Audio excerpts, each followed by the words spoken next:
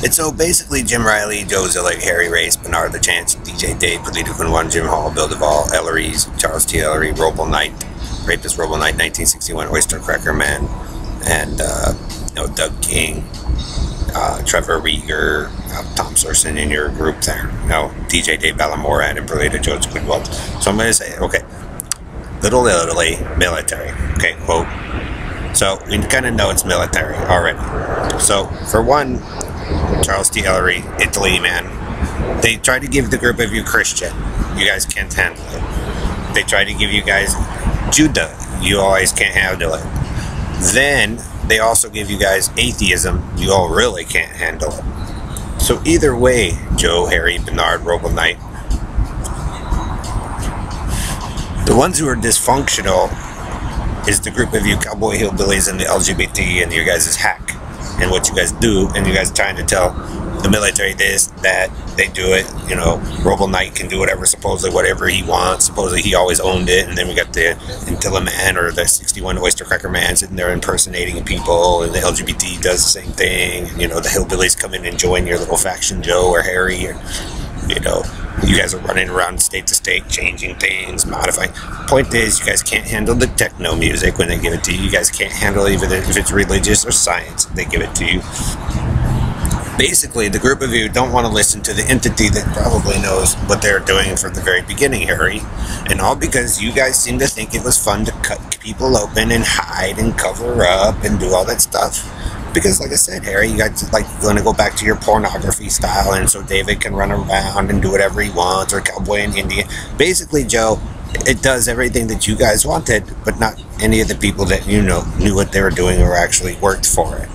So you guys got to override it. See Mr. Roble Knight or Harry or Joe to cut off the head, whispering faggot, the nasty shit you did, Joe. So, Joe, if you do that nasty stuff to a girl, because I've never done that, but those of you who did, right, dismantled and pulled pieces apart. Like I said, picked David.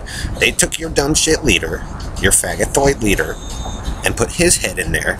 And like I said, you guys are all proud of it. LGBT's all proud of it, showing off now. And you know, um, Hick Hillbilly Julie there, who overrided PT Cruiser Julie. You guys all can be proud together of shit stink victory of your force in on everybody else. And like I said, you know, the smart ones will like make new fire exits and stuff around you all because they've already prepared for it anyway. Then you guys can sit and pout about how you supposedly won. And Joe, you can worship Joe and Dave and whatever. And you guys are basically hippies or whatever, Dave. It never really changed. You guys just make up a story and steal the bidded for Ellery. Just it's the same shit with you, David, because it never belonged to you.